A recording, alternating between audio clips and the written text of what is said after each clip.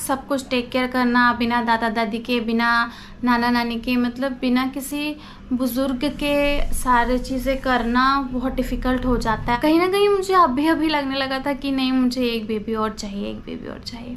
क्या होता है, हमेशा मम्मी पापा ही क्यों करें। हाँ सास ससुर का भी तो कुछ फ़र्ज़ बनता है। हेलो गाइस गुड इवनिंग पनाज ब्लॉगर में आपका बहुत बहुत स्वागत है। और देखिए आज शाम शाम को ना बहुत ही प्यारी सी रिमझिम रिमझिम बारिश हो गई थी, एकदम बहुत तेज़ नहीं हुई थी रिमझिम रिमझिम हुई थी और बहुत ही अच्छा सा मौसम हो गया था इसके बाद में। और ये देखिए कितने अच्छी हरियाली हरियाली लग रहा है मौसम। शाम हो गई है और आई थिंक कितना बज रहा है? हाँ सिक्स थर्टी हो रहा है और दिया बाती वगैरह हो गया है मेरा। अब मैं सोच रही थी कि भाजी रखी हुई थी चौलाई की। ये वाली। तो मैं चौलाई की भाजी तोड़ रही थी। अभी तो शाम शाम ही है। अभी डिनर का कुछ अता पता नहीं है, क्या बनने वाला है, कुछ भी नहीं सोचा है हम लोगों ने। सुबह कद्दू बनाया था मैंने तो कद्दू की सब्ज़ी थोड़ी सी रखी हुई है। सुबह शायद आप लोग के साथ शेयर नहीं कर पाए, क्योंकि सुबह ना बहुत अजीब सी तबीयत लग रही थी तो बहुत सुस्ती हो रही थी। शायद आज बहुत जल्दी जल्दी उठ गई थी छः बजे से उठ गई थी मैं। और रात को भी ना बहुत लेट हो जाता है क्योंकि वीर के पापा आ, लेट आते हैं ना तो थोड़ा सा लेट ही हो जाता है। उनका सेकंड शिफ्ट रहता है। तो रात को लेट हो जाता है तो सुबह जल्दी उठ नहीं पाती हूँ। बट मुझे उठना है जल्दी। इसलिए मैं आज ज़बरदस्ती उठ गई कि नहीं मुझे उठना है उठना है उठना आदत डालनी है और फिर दिन भर सुस्ती सुस्ती सुस्ती सुस्ती लग रहा था। तो अभी तो दिन में फिर थोड़ा सा रेस्ट किया मैंने। नींद तो नहीं आई क्योंकि शायद बारह बजे करीब ऐसे लेट गई थी मैं तो उसमें थोड़ी सी नैप ले ली थी मैंने एक। तो नींद तो नहीं आई, लेकिन थोड़ा सा रेस्ट हो गया अभी थोड़ा फ्रेश लग रहा है। तो मैंने सोचा, सो चलो थोड़ी सी भाजी वाजी तोड़ ली जाए। और मैं आपके साथ और कुछ भी शेयर करना चाह रही हूँ आज कि जब जो मेरी प्रेगनेंसी है ये वाली सेकंड प्रेगनेंसी है, वीर को आप लोग को पता ही है कि मेरा एक बेटा है। टेन इयर्स का है। तो अचानक से ये वाली प्रेगनेंसी हो गई मुझे मतलब अनप्लान प्रेगनेंसी है ये मेरी। तो उसका रिएक्शन क्या था? मेरा रिएक्शन क्या था? और वीर के पापा का रिएक्शन क्या था? तो वो मैं आज आप लोग के साथ शेयर करूँगी। तो बने रहिएगा ब्लॉग में, देखते रहिए आगे। तो अभी फ़िलहाल तो मैं भाजी तोड़ लेती हूँ, देन फिर आपके साथ में शेयर करती हूँ। तो देखिएगा इस फिर यहाँ पे मैंने फटाफट से अब भाजी साफ़ कर ली थी। अभी डॉक्टर ने बोला है ना ग्रीन वेजिटेबल्स खाना तो वीर के पापा हमेशा ग्रीन वेजिटेबल्स ला ला के रख देते हैं। इसको क्लीन करने में ना बहुत प्रॉब्लम होती है। तो अक्सर मैं जैसे सुबह बनाना है ना तो मैं शाम को करके रख लेती हूँ। और शाम को थोड़ा फ्री टाइम भी रहता है सुबह के हिसाब से। तो यही मैं कर रही हूँ। हाँ तो गैज़ मैं आपसे ये बताने वाली थी कि ये जो मेरी प्रेगनेंसी थी अचानक से, बात है आई थिंक फिफ्टीन जैन की। तो मुझे ना टेन को, अब हम हम लोग को सबको ही पता है कि अब हमको प्रेगनेंसी का पता कैसे चलता है। तो मेरे पीरियड्स मिस हो गए थे। टेन को आने वाले थे। एक्चुअली तीन चार दिन पहले, तीन चार दिन पहले ऐसे मेरे हर महीने आते हैं। तो जैसे ही मैंने जैन में टेन से मैं वेट कर रही थी बट आ ही नहीं रहे थे, आ ही नहीं रहे थे। फिर मैंने सोचा कि होता है कभी कभी लेट भी हो जाता है। कभी जल्दी आता तो कभी लेट भी हो जाता है। तो वैसे ही मैं, मुझे लगा। दैन मैं वेट ही कर रही थी और फिफ्टीन को फिफ्टीन हो गया तब तक मेरी तबीयत एकदम अचानक से ना उस दिन बहुत ज़्यादा मुझे जी मचला रहा तबीयत ख़राब हो रही। तो मेरे साथ ना ऐसा होता है कि जब मेरे पीरियड्स लेट होते हैं ना तो मुझे बहुत ज़्यादा तकलीफ़ होती है एक्चुअली जब से मुझे स्टार्ट हुआ ना, तब से मुझे बहुत ज़्यादा पेन होता है स्टमक पेन तो स्टमक पेन तो नहीं था इस बार। बट हाँ जैसे वॉमिटिंग लगना और बहुत ज़्यादा घबराहट होना, उस दिन इतनी ज़्यादा तबीयत ख़राब हो रही थी ना कि मैं खाना तक नहीं बना पा रही थी। तो बाहर से हम लोग ने डोसा बना के खाया था। सुबह नाश्ते में शायद चाय ब्रेड वगैरह खाई थी। चाय टोस्ट वगैरह, इतना अच्छे से एग्जैक्टली याद नहीं है। अभी तो फिफ्थ मंथ हो गए उस बात को। तो फिर क्या हुआ कि तबीयत अच्छी नहीं लग रही, तबीयत अच्छी नहीं लग रही। ये बोलते, चलो डॉक्टर को दिखा दो। तो मैंने कहा, नहीं, इसमें डॉक्टर को दिखाने वाली कोई बात नहीं है ऐसी। और होता है सब मेरे साथ, कोई पहली बार तो हो नहीं रहा है, मुझसे हमेशा ही होता है। तो मुझे प्रेगनेंसी का एक परसेंट भी आइडिया नहीं था कि मुझे ऐसा हो सकता है करके। तो क्योंकि जो अभी वीर हो गया है, टेन, वीर हो गया है टेन इयर्स का और अभी तक भी ऐसा मेरे साथ हुआ नहीं था तो मैं सोच रही थी कि हाँ वैसे ही होगा नॉर्मल तो मैंने इतना ध्यान नहीं दिया। फिर मैंने इतना ध्यान नहीं दिया और फिर सिक्सटीन को शायद संडे था हाँ मकर संक्रांति के एक दो दिन की बात थी, क्योंकि उस दिन वीर और उसके पापा छत पे पतंग उड़ाने गए थे तो उससे मुझे याद है। तो उस दिन बहुत ज़्यादा और तबीयत लगने लगी तो फिर ये बोलते हैं कि एक काम करते हैं। इनको मेरे मन में नहीं था बट इनके मन में आया, बोलते, एक काम करते हैं, मुझे तो कुछ थोड़ा सा गड़बड़ लग रहा है, तुम, मैं किट लाता हूँ, तुम टेस्ट कर लो। तो मैंने कहा, नहीं नहीं, कोई ज़रूरत नहीं है, मुझे बिल्कुल भी, मैं श्योर थी कि नहीं, ऐसा कुछ भी नहीं है। तो मैंने बोला, नहीं, ऐसा कुछ नहीं होने वाला है, मैं किट विट लाने की ज़रूरत नहीं है। तो फिर भी ये शायद कुछ लेने गए थे मार्केट एग्जैक्टली मुझे याद नहीं आ रहा है क्या लेने गए थे तो। तो ये कुछ लेने गए थे मार्केट तो फिर वहाँ से एक किट लेकर आ गए। अब मेरे लिए पीछे लगे कि लो चाहे टेस्ट करो टेस्ट करो। मुझे अलग घबराहट कि अगर पॉजिटिव आ गया तो क्या करूँगी मैं? क्योंकि मैं बिल्कुल मेंटली प्रिपेयर नहीं थी। क्योंकि हमने वीर के बाद सोचा ही नहीं था कि हमें दूसरा बेबी चाहिए करके। तो आ, मेरा दिमाग में बिल्कुल भी ऐसा नहीं था कि मुझे दूसरा बेबी चाहिए है। तो इतने दिन से तो यही माइंड सेट बना बना के रखा था। तो बस फिर मैंने टेस्ट किया और दो तीन सेकंड भी नहीं लगे और वो पॉजिटिव आ गया। और मेरी हालत ख़राब मतलब शायद फ़र्स्ट टाइम पे जब वीर होने वाला था ना उस टाइम पे भी मेरे साथ ऐसे था क्योंकि वीर भी बहुत जल्दी रह गया था शादी के बाद और मैं नहीं चाहती थी कि इतनी जल्दी आ, मैं प्रेग्नेंट हो जाऊँ। तो उस टाइम पे भी वीर ऐसे ही हो गया था वीर के साथ। तब भी मैं मेंटली प्रिपेयर नहीं थी। बट हाँ कहीं ना कहीं रह गया था तो इट्स ओके खुश हो गई थी। बट उतनी ज़्यादा खुशी जो होती ना फ़र्स्ट बेबी की, जब आप प्लान करते हैं ना, तब उसकी बात ही अलग होती है कि हाँ प्लान करके। तो ऐसा नहीं कि मैं खुश नहीं थी, खुश थी, लेकिन उसके लिए थोड़ा सा मुझे टाइम लगा सोचने के लिए कि ओ गॉड तुरंत ऐसा लगा ओ गॉड क्या हो गया? तो सेम हेयर सेम टाइम पे भी ऐसे ही हुआ था। मैंने बोला क्या करूँ क्या करूँ? फिर ये भी बोलने लगे कि सोचने लगे, बोलते कि, क्या सोच रही हो? तो मैंने कहा, अब मैं सोच रही हूँ कि बस अब मैं टैबलेट वगैरह तो नहीं लूँगी। अब लाना है मतलब लाना है। तो फिर, ये भी बोलने लगे इट्स ओके जाने दो। ले, लाना है मतलब ठीक है। वो भी तैयार थे, उनको भी ऐसे कोई दिक्कत नहीं थी। नहीं तो कई बार क्या होता है ना कि दोनों वो नहीं हो पाते हैं, सहमत नहीं हो पाते उस बात से। कई बार ऐसा होता है कि हस्बैंड बोलते नहीं नहीं, आप नहीं रखना है मतलब नहीं रखना है बेबी तो वो भी नॉर्मल थे।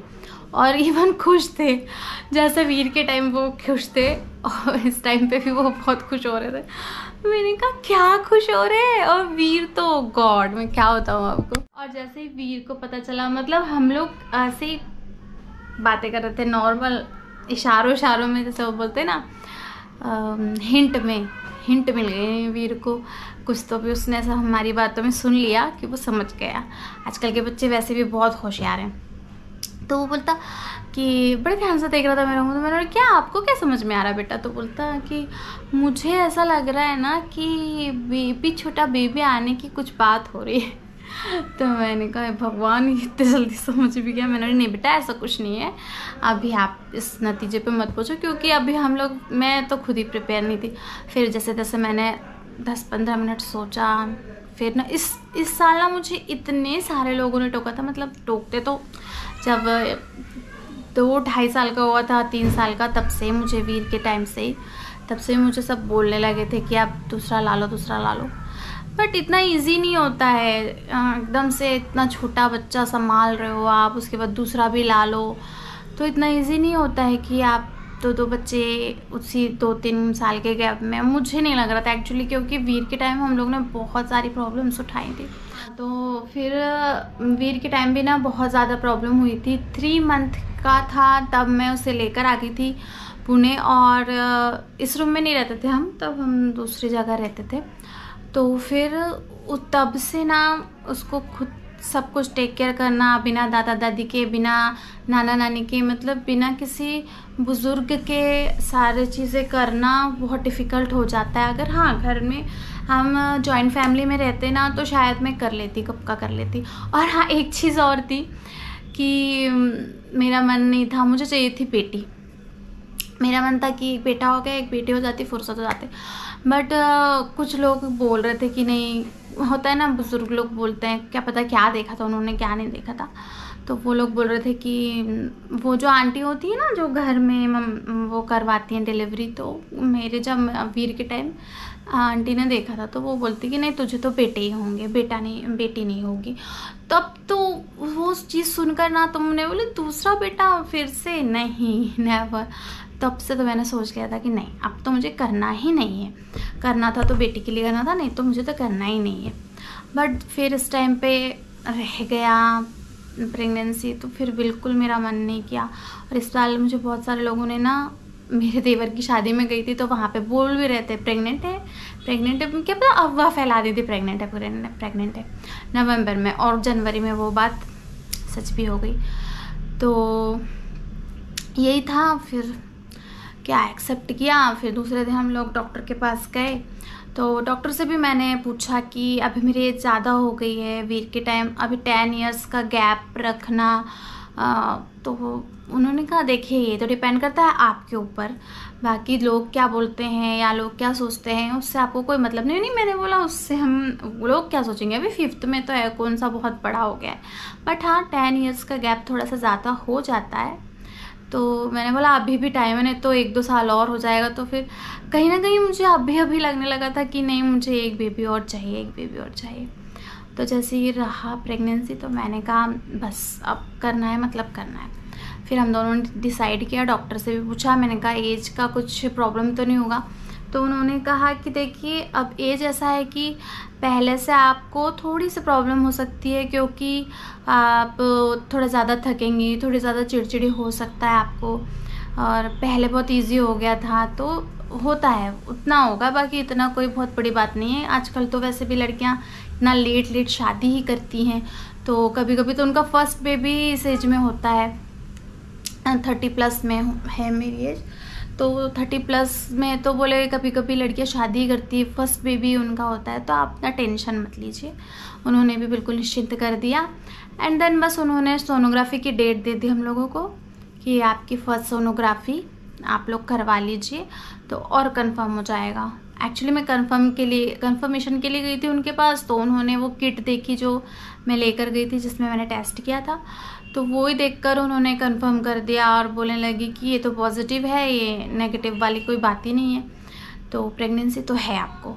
फिर भी आपको और कंफर्मेशन चाहिए तो 14 डेज़ बाद उन्होंने डेट दी थी 28 जैन की।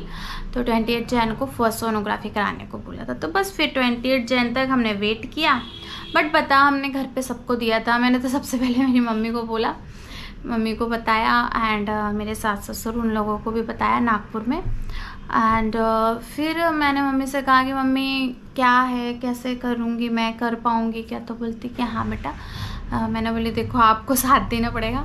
तो मम्मी ने भी कहा कि हाँ आ, मैं कर दूँगी। जैसे मैं वो पहले से ही बोल रही थी मुझे तो टेंशन क्यों ले रही मैं कर दूँगी। सब जैसे वीर के टाइम पे किया था। बट uh, मैं कहीं ना कहीं नहीं चाहती थी कि मम्मी फिर से वैसे परेशान हो। क्योंकि उस टाइम पे भी क्या होता है हमेशा मम्मी पापा ही क्यों करें? हाँ सास ससुर का भी तो कुछ फ़र्ज़ बनता है। बट वो लोग हमेशा मुकर जाते हैं और उनसे उतना होता नहीं होता नहीं करके छोड़ देते हैं। और सिर्फ़ मम्मी पापा के ऊपर आ जाती है बात। और वैसे भी मेरी टू सिस्टर्स हैं तो मैं सोच रही थी कि इतना सारा मेरी मम्मी की एज भी हो गई है अभी। मैं सबसे बड़ी बहन हूँ। तो उस हिसाब से फिर मैं सोचती थी कि नहीं नहीं, मुझे नहीं करना है, नहीं करना है। बट ठीक है, अभी मैंने मम्मी को कहा तो मम्मी ने कहा ठीक है मुझसे जितना बन रहा है अभी तो अभी तो मैं कर ही दूँगी। तो बस यही थी मेरी अनप्लान प्रेगनेंसी स्टोरी एंड आगे की बातें मैं फिर आपको अगले वीडियो में शेयर करूँगी, शायद बहुत ज़्यादा बड़ा हो जाएगा नहीं तो वीडियो तो चलिए देखते हैं डिनर में क्या बनाना है। हाय गाइस मैं आती हूँ किचन में और अब मैं बनाने वाली हूँ बॉयल आलू की सब्ज़ी बॉयल पोटैटो एंड टमाटर की, आलू टमाटर की सब्ज़ी बनाएँगे। और उसी के साथ साथ जब तक आलू उबलेंगे, तब तक मैं आटा भी रेडी कर लूँगी। चलो आटा बना लेते हैं रेडी कर लेते हैं। तब तक ये कुकर भी हो जाएगा। बस दो सीटी एंड आलू रेडी फटाफट से मेरा डिनर बन जाएगा।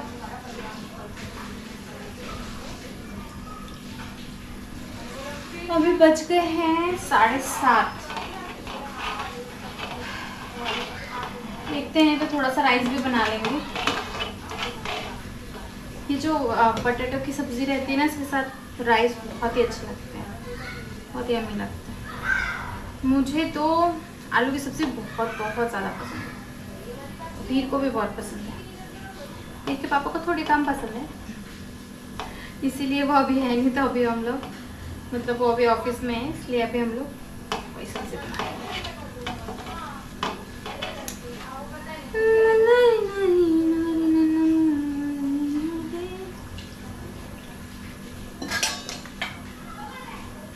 आज ना हल्की फुल्की सी बारिश भी हो गई थी तो मौसम थोड़ा सा अच्छा लग रहा है। नहीं तो आज इतनी गर्मी थी। बापरे बहुत ज़्यादा गर्मी थी आज। दिन में तो लेटा नहीं जा रहा था बिना कूलर के। नहीं तो पुणे में इतनी ज़्यादा गर्मी होती नहीं है, लेकिन इस बार ठंड भी बहुत ज़्यादा हुई है ना तो गर्मी भी इस बार बहुत ज़्यादा हो रही नहीं तो हमने दो साल से कूलर निकाला ही नहीं था। इस साल ही निकाला है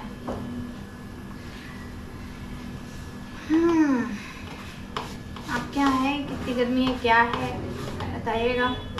यहाँ तो बहुत गर्मी है। और हमारे यहाँ एमपी में मतलब मैं एमपी से हूँ ना, मेरा मायका, वहाँ पे तो बहुत ज़्यादा गर्मी है। मम्मी पापा बता रहे थे। वीर अभी गया है खेलने। वीर आएगा तब तक खाना भी बन जाएगा।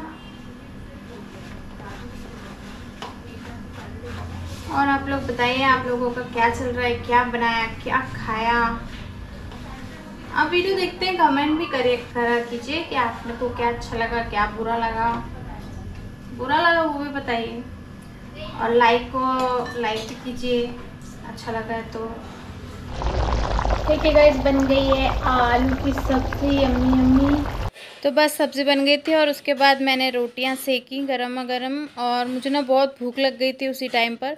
तो मैंने तो किसी का वेट नहीं किया, मैंने पहले ही खा ली थी क्योंकि सब्ज़ी इतनी यम्मी लग रही थी ना। तो बस फिर हमने डिनर किया एंड फिर हम लोग उसके बाद टीवी देखते रहे एंड देन फिर सो गए थे। तो चलो गैस यहीं पे मैं ब्लॉग एंड करती हूँ। अच्छा लगा होगा तो लाइक शेयर सब्सक्राइब करना बिल्कुल भी मत भूलिएगा। नेक्स्ट वीडियो में मिलते हैं। Bye bye